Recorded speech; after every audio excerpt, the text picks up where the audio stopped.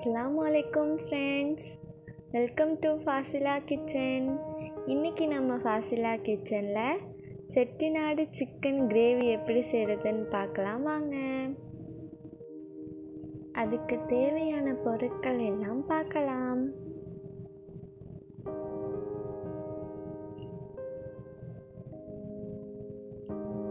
இப்போது ஒரு பேனில் மசாலாவுக்கு தேவையான பொருட்கள் எல்லாம் வறுத்துக்கலாம். பட்டை ஏலக்காய் கல்பாசி பிரியாணி இலை கிராம்பு ரெண்டு ஸ்பூன் மல்லி ஒரு ஸ்பூன் சீரகம் ஒரு ஸ்பூன் சோம்பு அரை ஸ்பூன் மிளகு கருவேப்பிலை கொஞ்சம் போட்டு நல்லா வறுத்துக்கோங்க.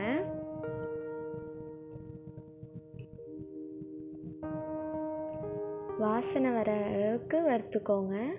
இப்போது அஞ்சுலேருந்து ஆறு காஞ்ச மிளகாய் போட்டுக்கணும்.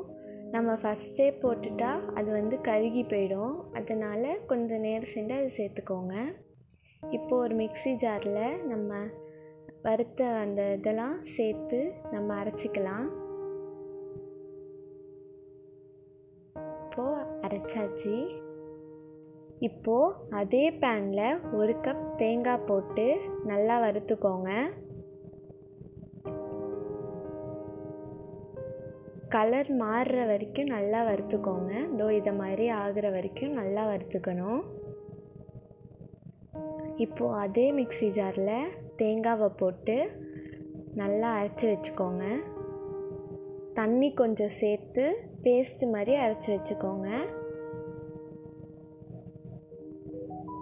இப்போது பேஸ்ட் பேஸ்ட் அரைச்சாச்சு. இப்போது ஒரு ப்ரெஷர் குக்கரில் ரெண்டு டேபிள் ஸ்பூன் எண்ணெய் ஊற்றிக்கோங்க எண்ணெய் நல்லா சூடானதும் நம்ம அரைச்சி வச்ச மசாலாவை சேர்த்துக்கலாம். சேர்த்துட்டு நல்லா கலந்து விடுங்க.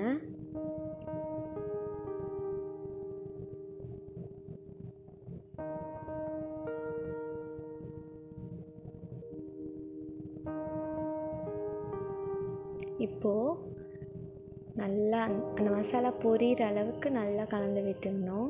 அப்புறம் ஒரு கொத்து கருவேப்பிலை சேர்த்துக்கோங்க. இஞ்சி பூண்டு விழுது ரெண்டு ஸ்பூன் சேர்த்துக்கோங்க. சேர்த்துட்டு நல்லா மிக்ஸ் பண்ணுங்கள் மீடியம் ஃப்ளேம்லேயே வச்சு பண்ணுங்கள் அப்போ தான் மசாலா வந்து கருகாது.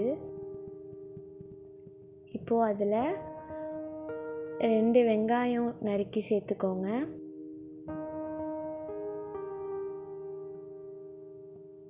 நல்லா கலந்துக்கோங்க.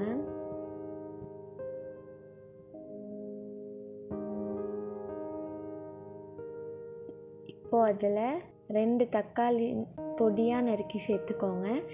தக்காளி வந்து தக்காளி போட்டதே தெரியாத அளவுக்கு நமக்கு வதங்கணும். இப்போ பாருங்கள் சூப்பராக நமக்கு வதங்கியிருக்கு. அரை ஸ்பூன் மஞ்சள் தூள் ஒரு ஸ்பூன் மிளகாய் தூள்.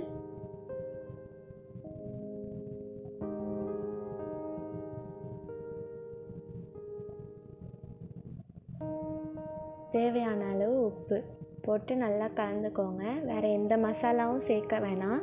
ஏன்னா ஆல்ரெடி நம்ம வந்து அரைச்சி வச்ச மசாலாவை சேர்த்துருக்கோம்.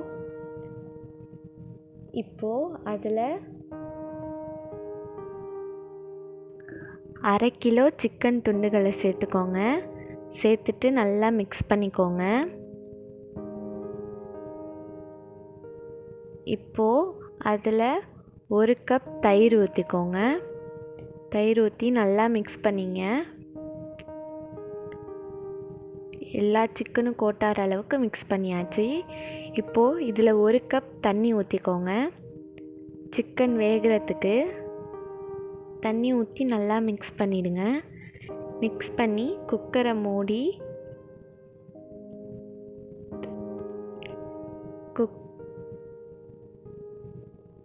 ரெண்டு விசில் விடுங்க.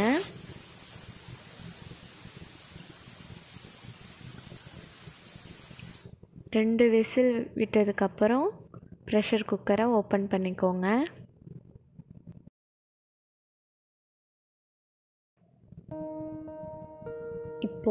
அதில் நம்ம அரைச்சி வச்ச தேங்காவை சேர்த்துக்கலாம். தேங்காவை சேர்த்து நல்லா மிக்ஸ் பண்ணிக்கோங்க.